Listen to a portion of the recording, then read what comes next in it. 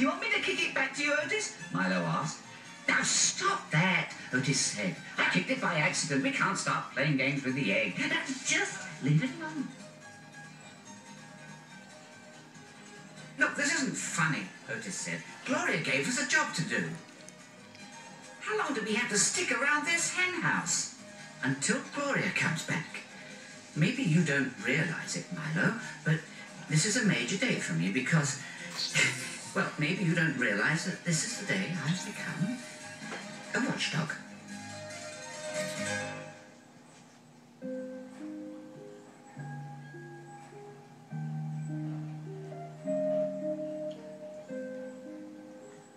Naturally, the sight of a dog and a cat watching an egg brought the usual string of gawkers,